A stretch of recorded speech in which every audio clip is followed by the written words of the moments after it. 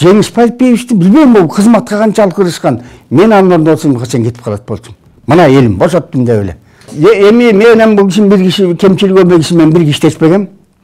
бирок бизде кадрды туура эмес койгон илгертен келатат биринчиден маматалиев ошо боевиктерге колго түшүп тигилерде жаткан адамды вице премьер кылышты анда бир аксады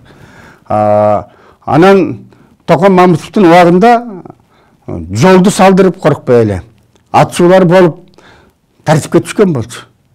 анын алышты дагы тигини алып келди анан кийин мына буну коюп койду жеңиш парпиевич адам катары жакшы адам болушу мүмкүн бирок жакшы адам жакшы жетекчи болот деген сөз эмес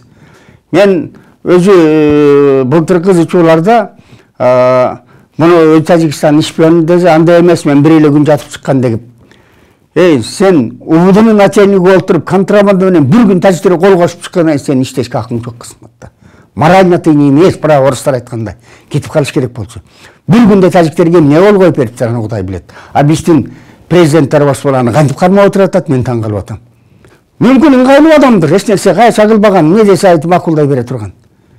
же кечегиде сүйлөгөнүн карабайсыңбы жетек вице премьердин деңгээлин муну кимдир бирөө акча берип элди чыгарды мен да акча берип чыгарам кайсы контрабандадан алган акчаң менен чыгарасыңбы эй кантип сүйлөдүң ошол сөздү акча менен мен чыгарам деп.